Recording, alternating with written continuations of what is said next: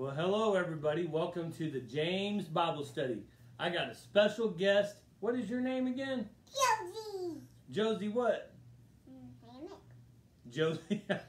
That's good. Josie May Hammock. Okay, can you pray pray us in tonight? Can you say, God bless you, everybody, Mm, God bless you, everybody. and have a great Bible study? Um, have a great Bible study. Do you remember how to put on your armor? We gird our waist with the belt of truth. We put on the shoes of the gospel of peace. We put on the breastplate of righteousness. We take up the shield of faith to quench all the arrows of the enemy. We put on the helmet of salvation. And we take up the sword of the Spirit, the Word of God. Amen. Bye, everybody. Tell everybody bye. Okay. We'll see you next time. I love you. Well, thank you. Our special guest has been saying, Papa, can I be on your Bible study? I said, Come on, let's do it. So, hey, God bless you. Thank you for showing up tonight. It is a very special day. It is my father in law, Tommy Frierson's birthday. He is somewhere north of the big 7 0. We won't tell you how many, but uh, Yeah, he's, He's 71 today, and he looks 61. And uh, so, God bless you, Tommy. Thank you for your mighty influence in my life and the lives of many other men uh, and just people. If you need something fixed, Tommy's fixed it probably. If you need uh, something done, he's done it for you. He's a servant and a lover of people. So, Tommy, happy birthday. God bless you. Thank you for being the best father in law, father influence in my life, uh, helping me learn how to play baseball, change the oil in my truck, um, cook, all sorts of crazy stuff. Love you. God bless you. Hey, take your Bible, turn it to James, the book of James. We're in James chapter 3 tonight. We are in session number 5. If you need notes to our sessions, they're on our uh, website, which is whitestonechurchtx.com. You can go there right now. You can download the notes to tonight's session. You can also go to the contact us page, give us your email, and we will send you those notes um, via email so you can get on our mailing list. I think we have over 100 people on our email list right now. Uh, and we also have them listed on our website, Whitestone Church TX. So God bless you. Let's pray. Grab your Bible, grab your notes, grab something to write with, and uh, we'll get started. So, Father God, we love you, and God, we bless you, and God, we praise you, and God, we pray that you would open up our heart, open up our minds. God, we give to you the craziness of the day. We give to you all the stress and anxiety and worry and doubt that's going on in the world, God. And Father, we just pray that you would be our Prince of Peace. Pray that with me. Father God, be my Prince of Peace. Bring me peace that passes understanding, my ability to comprehend. In Jesus' name. And everybody said, Amen. So grab your Bible. We are in James chapter 3. And um, we're going to go, we're going to try to cover this entire chapter tonight but I want to cover it from a surface level and then hopefully go to a much deeper level. So let's just read the first um, 12 verses, and it's James chapter 3, verse 1. It says, My brethren. Now remember, when it says brethren, he's talking to the believer, he's not talking to a non Christ follower, he's talking to brothers and sisters in the Lord Jesus Christ.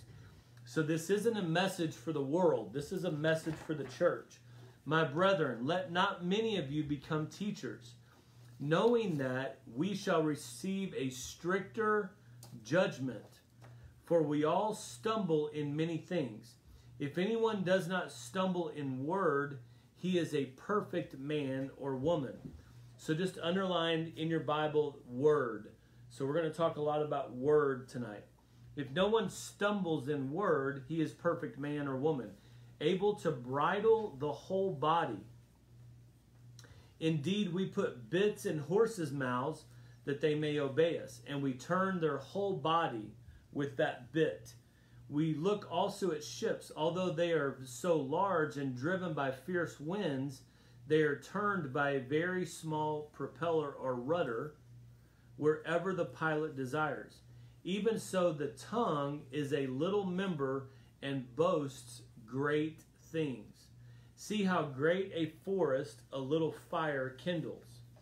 And the tongue is a fire, a world of iniquity. The tongue is so set among our members that it defiles the whole body and sets on fire the course of nature, and it is set on fire by hell. For every kind of beast and bird and reptile and creature of the sea is tamed and has been tamed by mankind. But no man can tame the tongue. It is an unruly evil full of deadly poison. With it we bless God our Father, and with it we curse men who have been made in the similitude or similarity in God of God. Out of the same mouth proceeds blessing and cursing. My brethren, Cameron, put your name here, Whitestone Church. These things ought not be so. Does a spring also bring forth fresh water, or bitter from the same opening? Can a fig tree bear olives, or a grapevine bear figs? Thus, no spring yields both salt water and fresh water. Before I go much further, I can't believe I forgot it. I want to say, Welcome to the world, Jericho. So, my grandson was born two days ago, three days ago, and welcome to the world, Jericho James Corbin. My son and his beautiful bride, Josh and Vanessa, had their firstborn child, uh, Jericho James Corbin. So, welcome, Jericho. It's also his three day birthday, if you will. So, but back to our text. The world is fed with our words. The world is populated with our words. James, here in the beginning of this chapter 3, is going straight for the juggler, saying, Hey, listen, your tongue is very powerful. The words that come out of your mouth have great weight. Proverbs says, Out of the mouth comes life or death. You have the ability to speak life or death over people, over circumstances. You have the ability to praise God or to curse God. You have the ability to uplift or put down. You have the ability with this mouth. The James says, "Hey, listen, a wild forest fire, the forest fires that take place in Colorado are started by a small spark. We all grew up with Smokey the Bear and only you can prevent forest fires. Well, unfortunately, some great forest fires have been started by a simple cigarette butt tossed out of the out of a car window or a single match that's tossed into some some uh, uh, you know underbrush and it starts a massive forest fire. Um, James brings up the point of a boat, uh, the biggest cruise boats out there, the biggest war boats out there, warships um, have been controlled or are controlled by these little rudders in comparison to the size of the boat.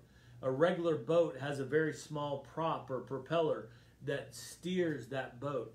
The tongue is a very small part of our body, but it rules and steers the body. It can boast things. Have you ever like uh, uh, said something you couldn't back up? Have you ever have you ever overcommitted with your tongue? Have you ever committed to something with your tongue first and then your mind goes, "Oh, oh my god, what did I just buy? What did I just commit to?" Have you ever committed? Has your spouse ever committed you and you're like, "Don't say that. Don't bring that. We didn't even talk about that." Has, have you ever said something with your tongue as a sharp reaction in the grocery store to somebody or at work or on a ball field and you're like, "Whoa, where did that come from?" Have you ever just used your tongue in a way that you're like, oh, I should not have said that. Have you ever done something where it, where it's like, you know, well, I'm just saying what everybody else is thinking. Well, our tongue has the ability to control us or bring us into a great position or a bad position. James goes on to say, listen, we've tamed every animal in the world. We've captured eagles, we've captured lions, we've captured whales, we've captured every type of beast that's in the ocean or on the land or in the air, and we've harnessed them, we've controlled them by putting them in a cage or putting a bit in the horse's mouth and we steer them, we break them, we we train them to do what we want them to do. But nobody has been able to tame the tongue. So James says, listen, if you can control what you say, you're a perfect man or woman. You'll actually be able to control your whole body. So let's go to some other verses real quick. Go with me to Proverbs chapter 18, verse um, 7. I forgot what verse it is. It's in Proverbs chapter 18, verse 7, I believe. I'll look it up real quick. Proverbs um, chapter 18. I didn't write down the verse in our notes.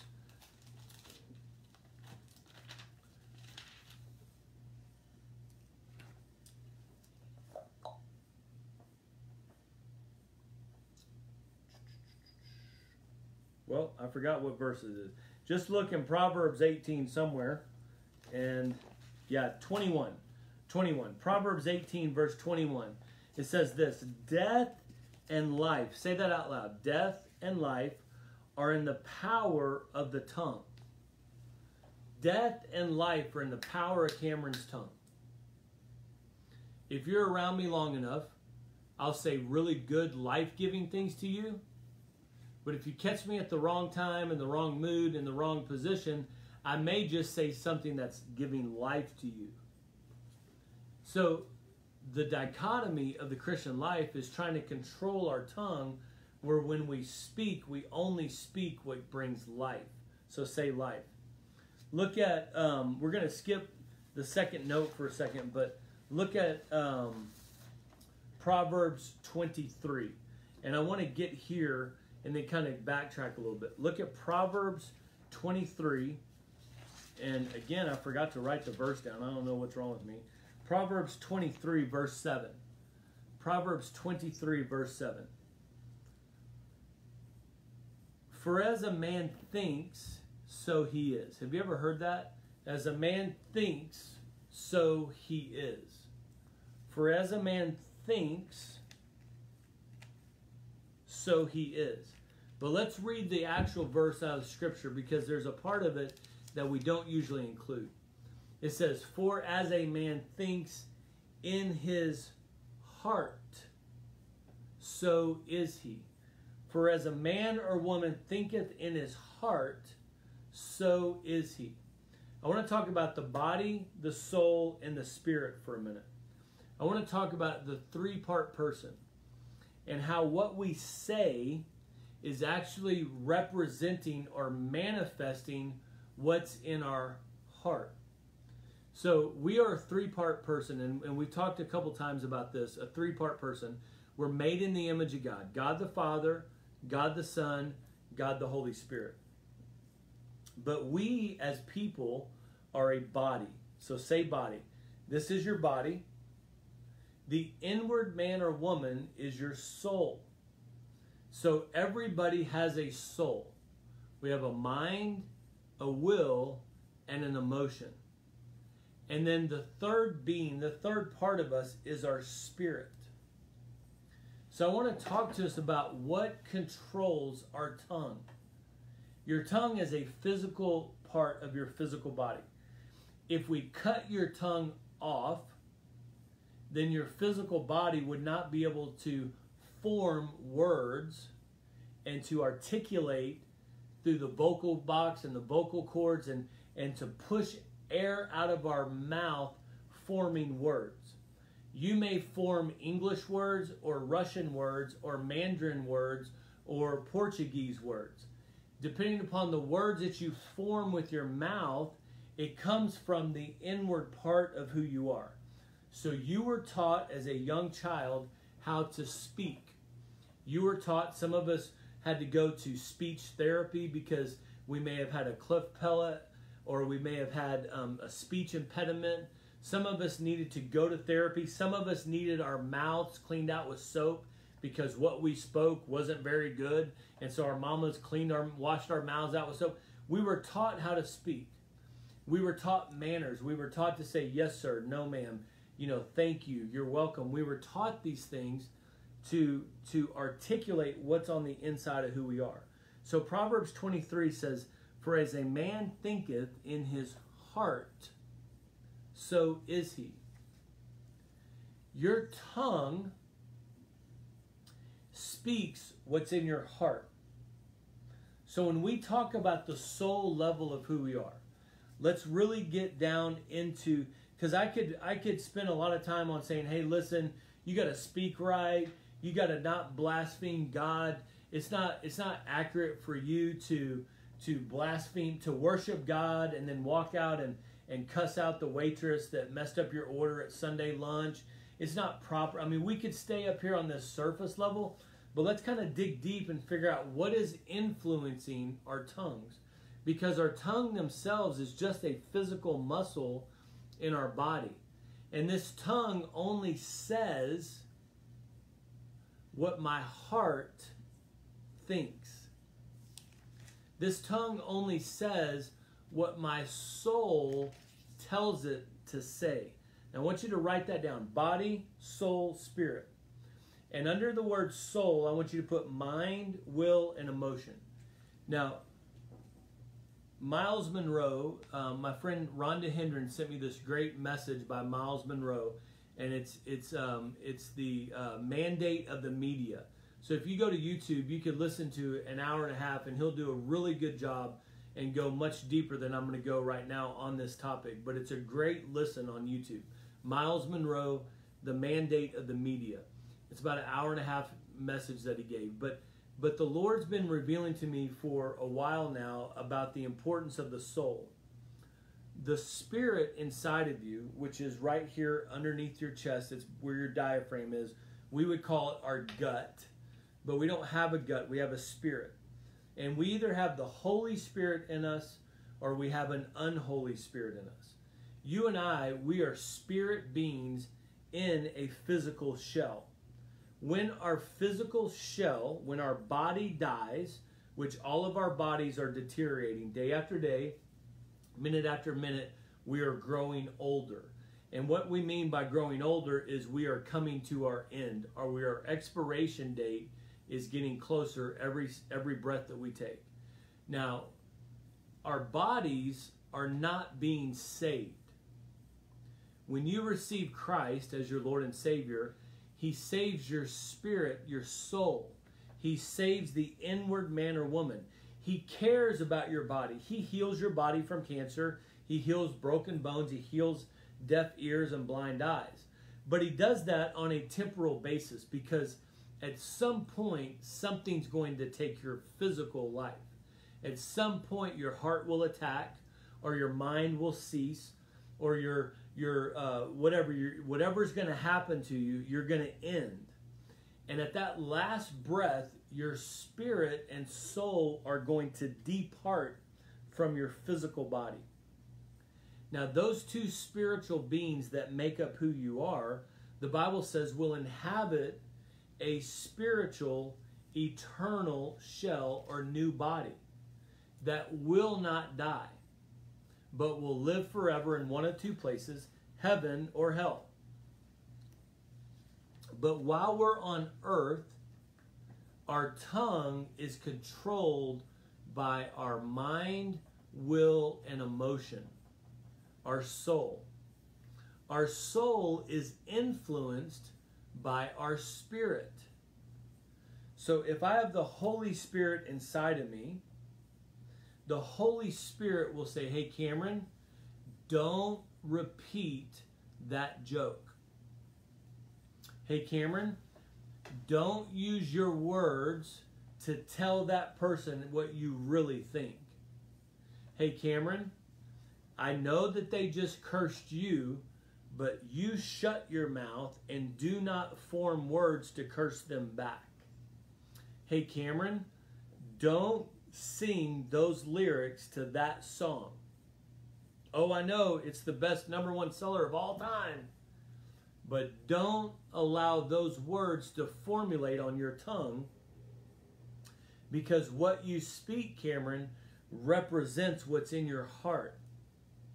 As a man thinketh in his heart, so is he. It's very interesting that scripture doesn't say, For as a man thinketh in his mind. Your heart is what we would say is influenced, or really your soul, the heart of the man, the heart of the woman. Love me, the Jesus says, love the Lord your God with all your heart, soul, and mind. Love the Lord with everything inside of you. I just said that wrong. I got to think about that verse for a minute. Um, but but God's saying, love Him with everything inside of you. God is saying this. What is influencing your soul? Words are extremely important. Words are how the world was created. In the beginning, God said, Let there be light. Let there be trees. Let there be dolphins. Let there be grass. He, he spoke the world into existence. Well, his words were originally his thoughts. And his thoughts are originally representing his heart. So our thoughts represent what's in the subconscious man, the heart of the man or woman. Our thoughts reveal themselves sometimes in the middle of the night through dreams. Sometimes you wake up dreaming and you're like, man, where did that dream come from? Well, it came from the thoughts that originate in your heart, not just your mind. So here, here's what I'm trying to say.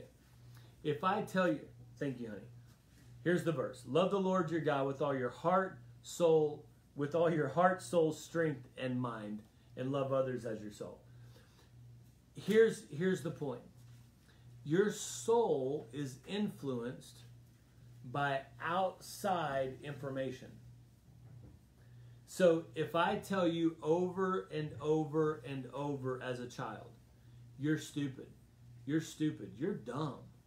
You are you you are the slowest kid in the class. Hey, you're one fry short from your happy meal, buddy. You're the you're not the sharpest tool in the shed. If if a child is told those words, then they will start to believe those words in their mind first, but their mind will sell or influence their heart to believe that information. And then that child will speak what's in their heart. The reason words like I hate you hurt so much from somebody you love is because you know it came from their heart.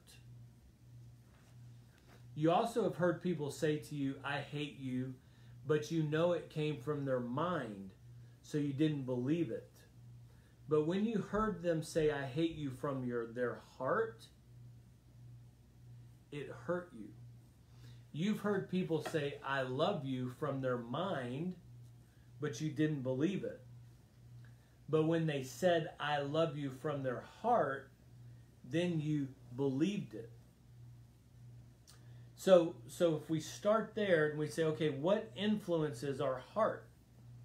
Well, our mind influences our heart. Well, what influences our mind? Television, music, books, gossip, stories, politicians, teachers at the finest universities. They are influencing our mind. And they're either giving us information that's holy or unholy. They're either feeding us truth or lies. So when their mind, when our minds are influenced by that information, when we continue to receive that information and we then we start to believe it in our heart, then we will speak it. Have you ever heard somebody talk about something they don't know what they're talking about? You ever heard, heard somebody, you ever said, man, I, I just, man, I, I don't know what to do with my car. Um, I, I need, I need, you know, I need to fix my car. And then somebody that doesn't know anything about cars just starts spouting out information. Well, that information came from their mind. They just heard somebody say something and somebody else said something and so they regurgitated what they heard. But a true mechanic would would say, "Hey, listen, this information on how to fix your problem, it's in my heart, it's in my being." And so when I bring that out, it really is the essence of, of who I am. I am a mechanic. I know what I'm talking about. When somebody doesn't know what they're talking about, you may listen to them, but you're going, oh, this is nothing, this is crazy. But when it's from their heart, then you grab onto it and you say, I want that. Now, what influences the heart is what influences the mind first. So if I'm continuously, continuously, if I continue over and over and over, how do I say that word? Continuously. If I continuously feed my mind trash in the form of music, then my heart will start to receive that which my mind is full of. And out of my heart, I'll speak. Jesus says it's not what, defi- what goes in defiles you, it's what comes out. And what comes out is a product of what comes in. Now, when he makes that statement, he's talking about food. So in this statement, I'm talking about media or what comes into our mind. And here's here's what James is trying to say. He's trying to say, listen, when you talk, it is a representation of what's in your heart. And what's in your heart is the information that's been going over and over in your mind. So if you walk around the house and you say, Ah, I'm so stupid. Cameron, that's just stupid. You're stupid. Well, all of a sudden I have to ask myself, where did that come from? Well, was the information fed to my mind as a child that my actions equal my value? So if I spill the milk, I'm stupid. If I if I uh, break the glass or drop the thing or I forget to put the item in the right place, then my value goes down. So somewhere in my heart, I believe that I have no value if I don't do the right things. So then when I do the wrong thing or I make a simple mistake or an accident, then what comes out of my mouth is a representation of what's deep into my heart. So as a man thinketh in his heart, so is he. And when I speak it, I'm feeding it back to my mind that feeds it back to my heart. Then it takes it, feeds it to my tongue, and I speak what's in my heart. I know this is a, a I'm not I don't feel like I'm doing the best job of explaining this so I'm I'm trying to get this through to all of us that that when I continue to watch on the news when I feed my mind the politician's viewpoint of the world when I continue when I listen to more Fox News or CNN than than the scripture then my mind is continually bombarded with what bad things are happening in the world. So all of a sudden, that information will sink into my heart. And then out of my heart, I'll speak the bad things that are going on in the world. And so I won't speak the kingdom things, I'll speak the worldly things. And when I speak them, then I'm hearing them again, and it's going back into my mind, it's influencing my mind, and it goes into my heart, and then I say them again. And then that cycle is over and over and over and over and over. In Romans, it says, faith comes by hearing, and hearing by the word of God. Faith comes by hearing, and hearing by the word of God.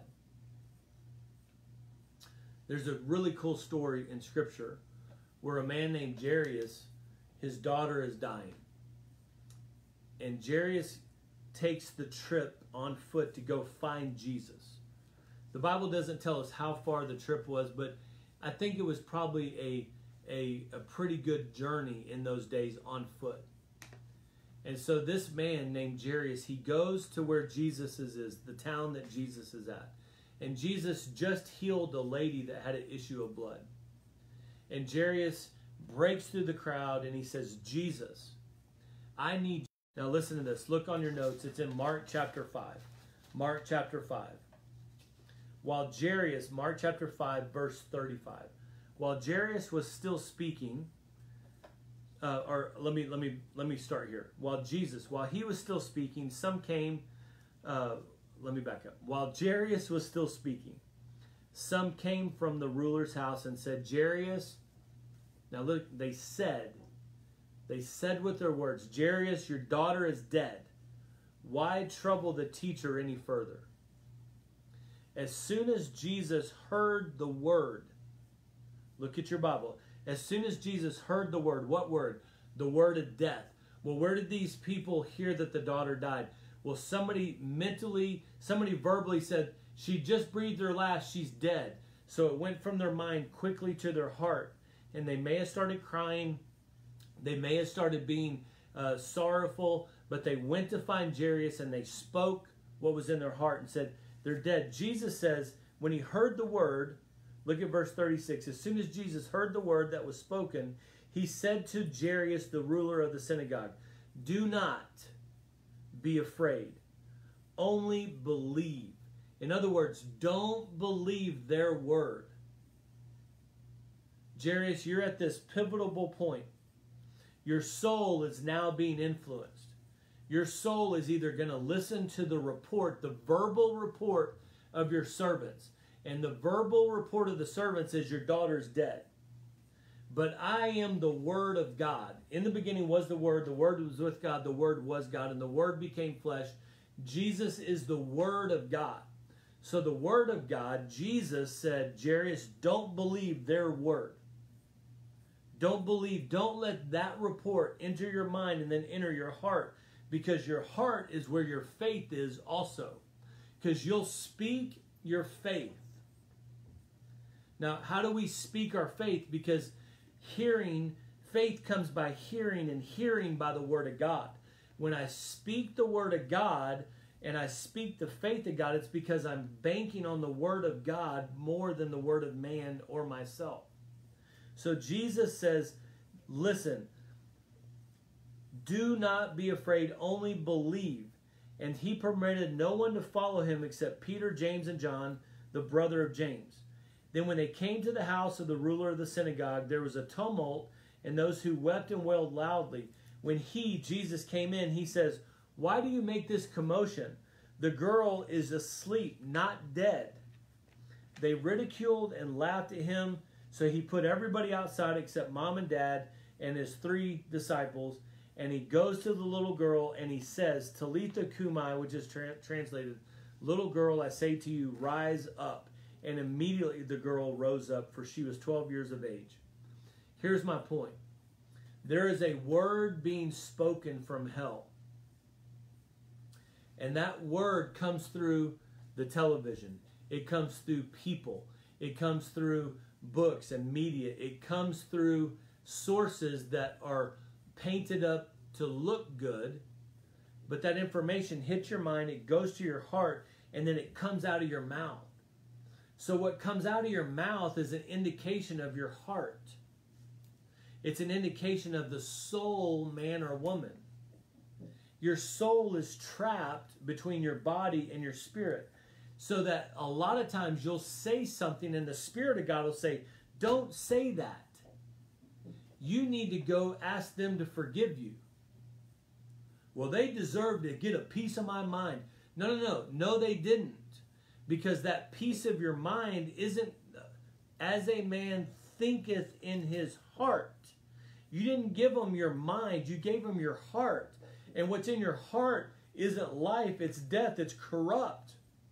So therefore, you got offended that fast. You got offended and you got you got displaced by their actions. And so you had to go defend yourself and you had to go stand up for yourself and you had to go rip them a new one and you had to go put them down with your words because your heart is corrupt. The inward soul of you, Cameron, is, is in great bondage because of what you've been listening to. The power of our words, think about this. And I and so I'm not picking on any genre of music when I say this. I'm not picking on, you know, uh, rock and roll is of the devil. Country is of the devil if it's speaking of the devil. Classical is of the devil if it's speaking of the devil. Pop is eh, or rap is of the devil if it's speaking of the devil. It's not the the form of the music, it's the words being spoken. When you fill an auditorium with 20,000 people, and it could be country, rock, rap, soul, you know, uh, disco, it could be whatever genre you want. But when the singer is putting out words glorifying sex and the corruption of the body, glorifying hardening your heart, glorifying drugs, glorifying death, glorifying what I just label sex, drugs, and rock and roll, then that singer, that, that musician has the ability to, everybody put your hands up. So everybody puts their hands up. Everybody say this with me, and everybody says this with them. And they may be blaspheming God, talking about their stairway to heaven under an acid trip, or they may be talking about sleeping with somebody that's not their wife because that's that's who you know they lost in Amarillo by morning and and whatever. I'm just throwing them out there. I'm just making up things. It it could be rock, rap, country. I don't care. But when that person puts their words out there, swaying and influencing 20,000 people. And so those 20,000 people allow those words to go from their mind into their heart. So now all of a sudden they start to view the world very differently. So now the words they speak become much more cynical, are much more vile, are much more uh, um, angry, are much more, and you fill in the blank. It, it, it doesn't matter the, the mode, but what comes out of our mouth is a very clear indication of the condition of your heart. And the condition of your heart is influenced by the spirit that you listen to.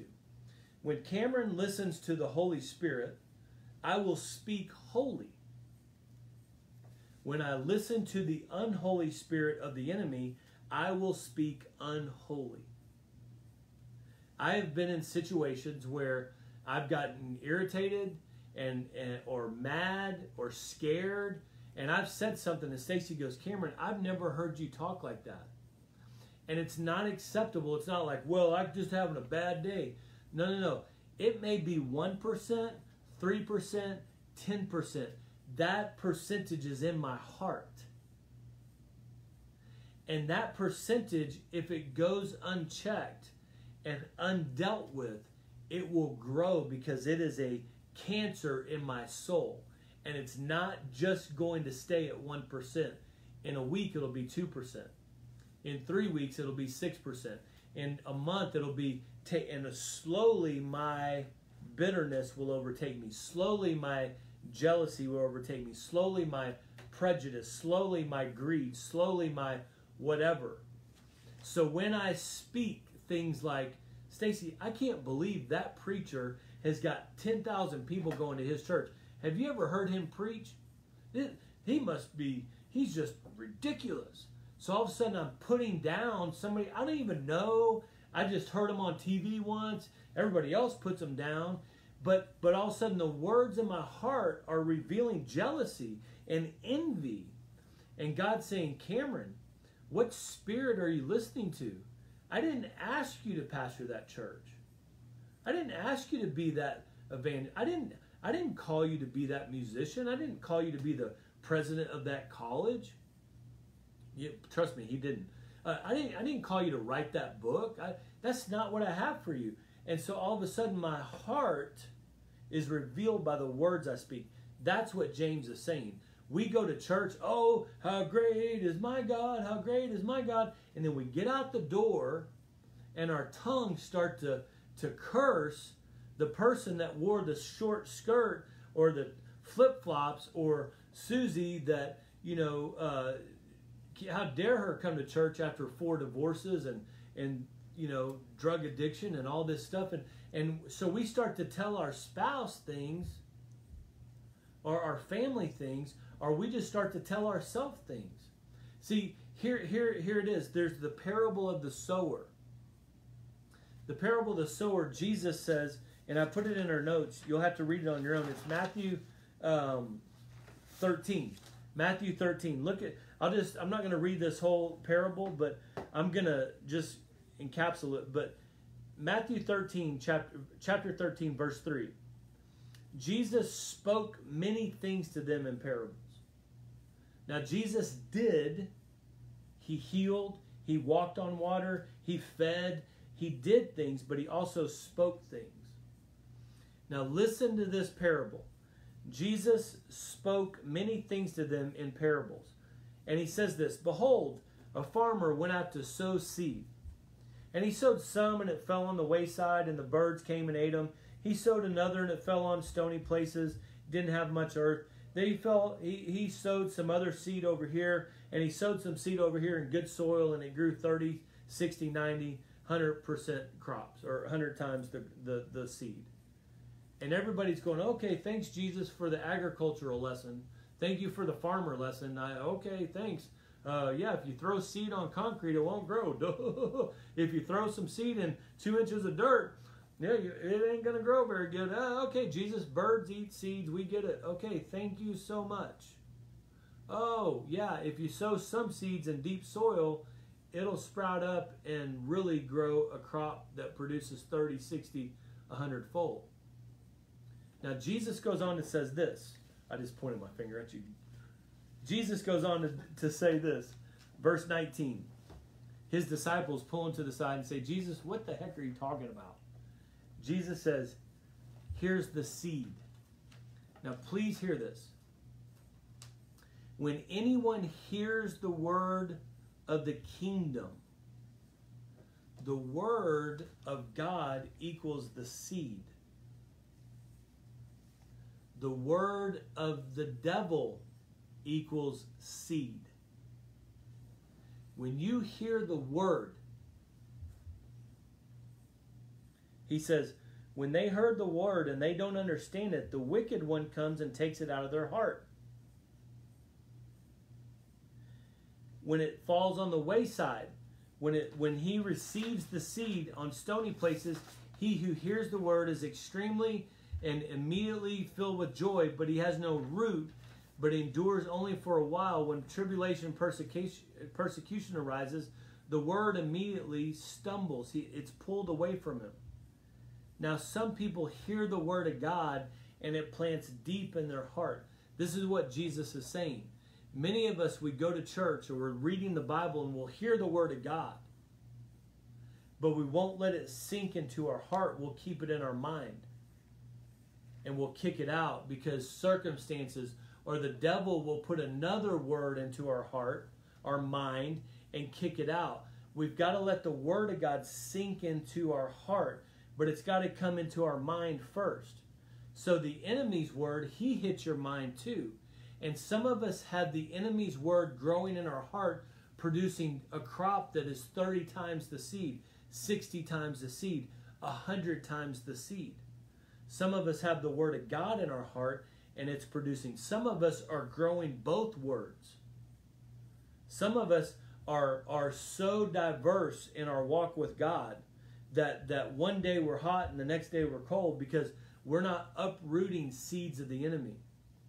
A lot of believers struggle with self uh, uh, um, words of, of deprecation, so, if that's the right word, we, we, we put ourselves down. I'm fat. I'm stupid. God could never use me. God won't use me.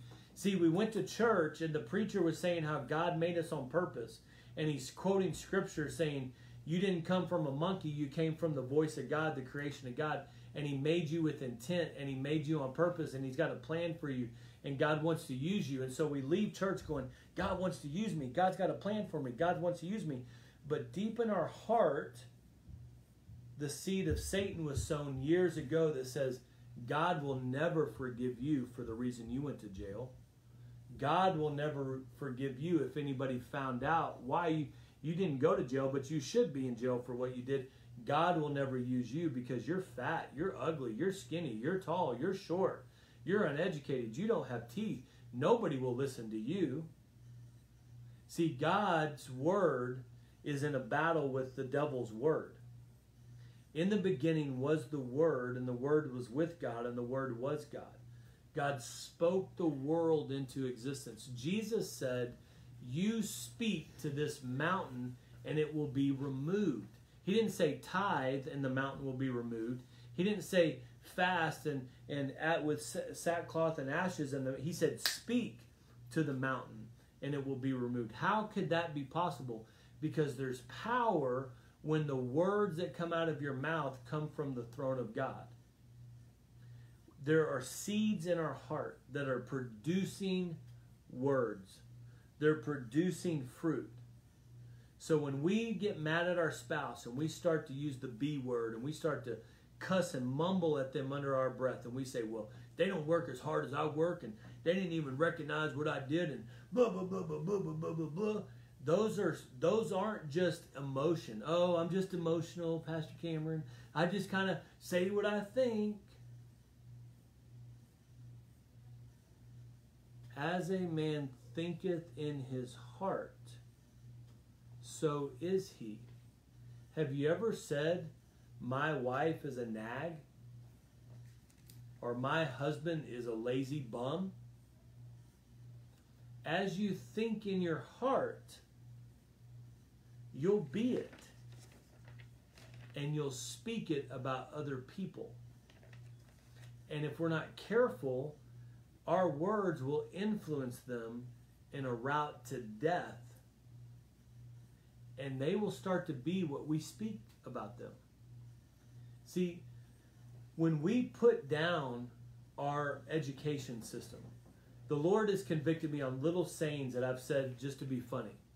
I used to say, and I'm not saying I'll never say it again, but I used to say, oh, you know, I'll, I'll mess something up in my grammar or I'll mess something up and, and I'll say, oh, I went to public school. Well, I used to say that, and I've said it a lot in my sermons, and you could probably find old recordings with me saying that. But the Lord one day said, Cameron, when you say that, you are speaking death over all public school teachers and the public school system and you are regurgitating something that was planted in you that wasn't from the Holy Spirit. When I say things like, I'm an alcoholic, I've always been an alcoholic, I'll always be an alcoholic. Well, because that's what AA told me, and that's what the doctor told me, and that's what the counselor told me. And that's just the truth, man. I'm just an addict.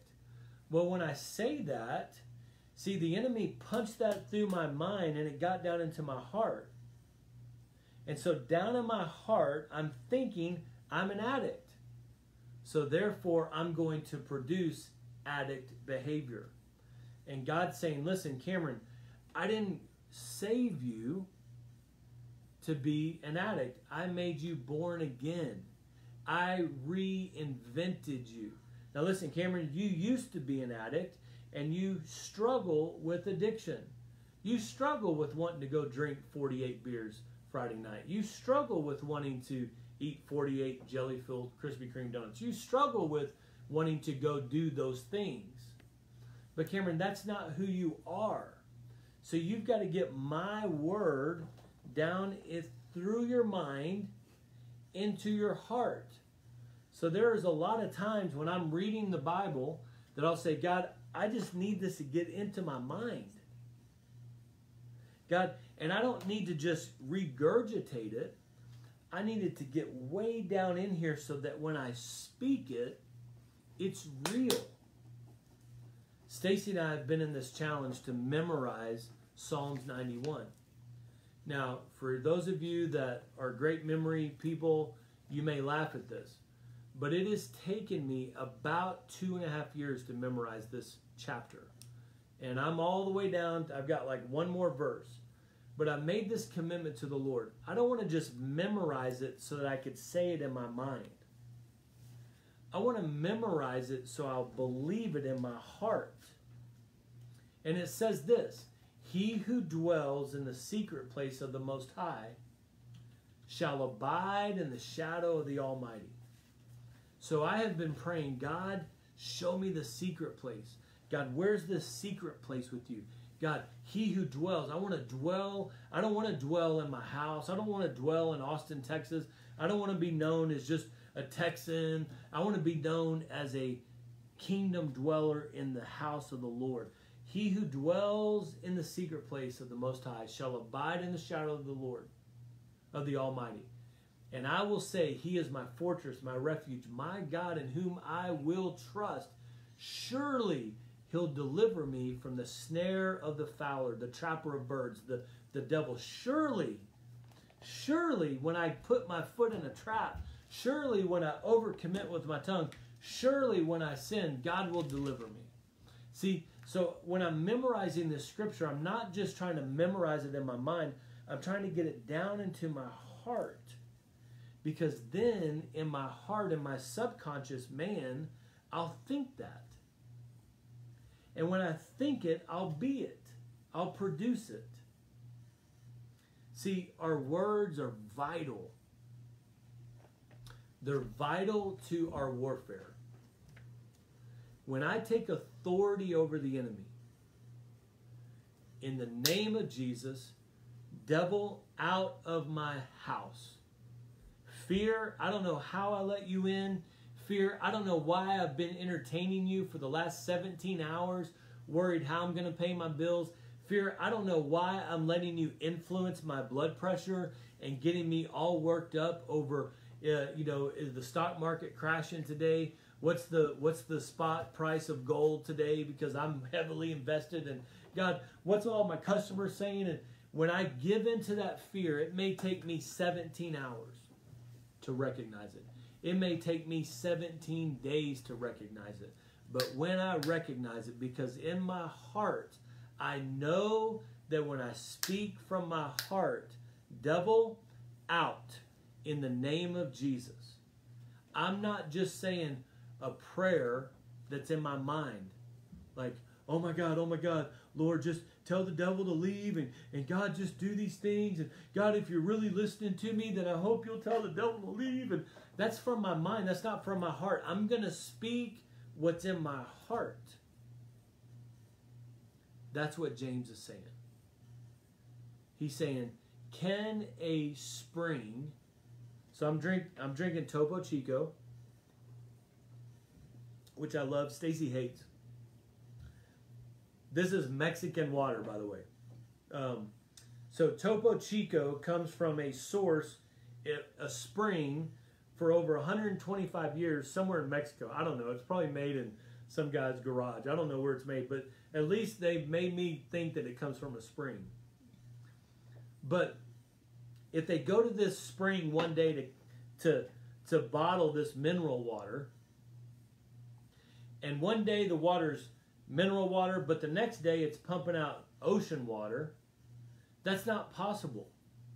A spring puts out fresh water or salt water. An ocean has salt water, a lake has fresh water. God says, Jesus, James is saying this Cameron, how can you produce out of your mouth worship one day and vile, disgusting perversion the next day? How can you say that you love me, but hate that guy because of his lifestyle?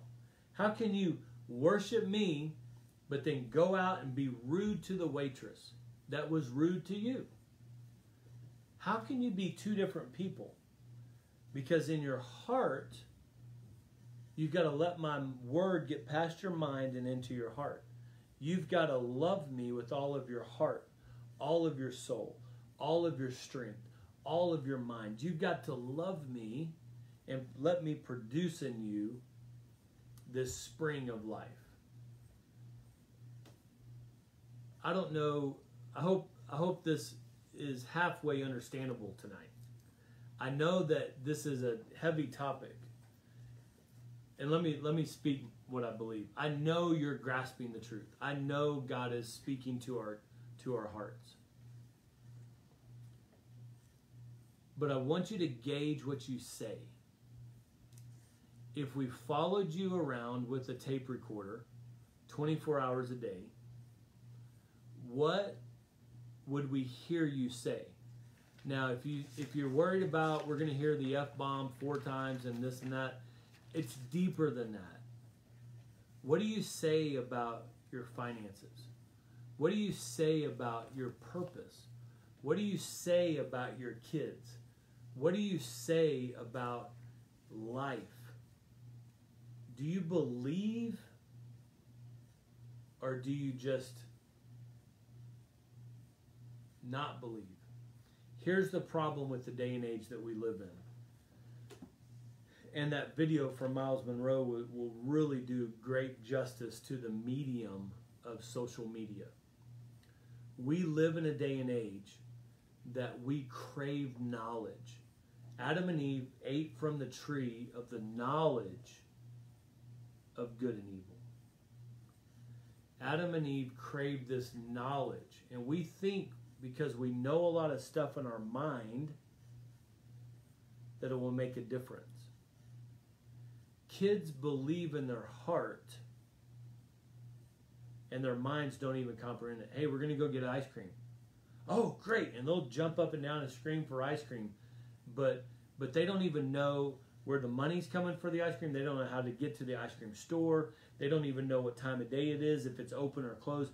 They just believe in their heart because you told them because their mind doesn't even process the information. It just goes straight to their heart. God's saying, let his word go through your heart. Let the peace of Jesus Christ pass your understanding. You can you can be at a funeral and your mind be wrecked because of the loss, but your heart can be at peace because Jesus is with you. Your heart is what speaks. So when we walk around and we say things that are unholy, we're confessing things that God says, my son or my daughter shouldn't confess those. And it's not just saying cuss words, it's confessing that your boss is not going to receive your report because he likes your coworker better. It's saying things like, my kids will never change, or my spouse will never change, or God, you know, we were born poor, we've been poor, we'll always be poor. Why would we say those things? Because somewhere down in our heart, we believe it. If you've ever thought about what your dreams are, a lot of times your dreams is your heart being revealed. A lot of times fear will come out in our dreams because we got fear in our heart. Perversion will come out because we've got perversion in our heart. Craziness, you know, all these things. I'm not saying every dream is a, but I'm just saying it's our subconscious man or woman, our heart is. And we're going to do how we think. How we think, how we think it in our heart, so will be. God wants you to speak with boldness what his words are. Back to James chapter 3, at the end in verse 11. Does a spring send forth fresh water and bitter water from the same opening? Can a fig tree, Cameron, bear olives, or a grape tree bear or a grapevine bear figs? Thus does a spring also give salt water and fresh water. Cameron, let it not be so with you. If you think about what Jesus said all of his life, he never once spoke something that God didn't tell him to speak. He never once didn't speak the word of God. Here's one of our weapons the word of God. How much of this word do we know? And how much of this word do we speak even when our mind is seeing or our mind is hearing something in opposition to it?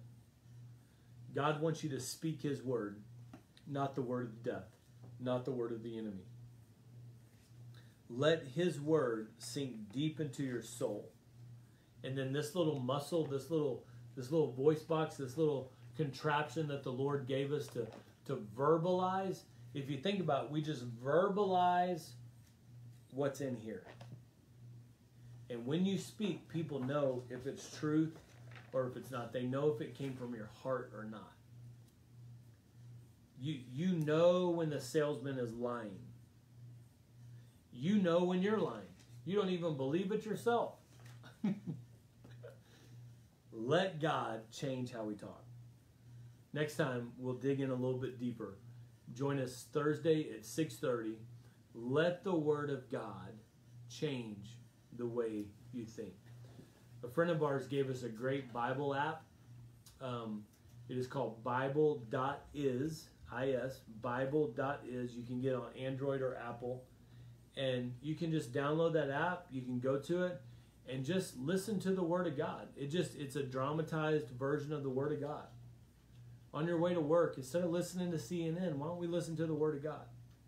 Instead of just being on the phone constantly with, with our friends talking about nothing, let's hear the Word of God. Let's let that Word of God sink into our heart, and all of a sudden we'll start to speak the Word of God. And we'll go, Where'd that come from? Oh, it came from our heart. Well, how did our heart change? The Word of God. Father, we love you and we bless you. And God, we declare that we are your spokespersons. We are your spokesmen and spokeswomen. Spokeswomen. God, we are here for you. So speak to us so that you could speak through us.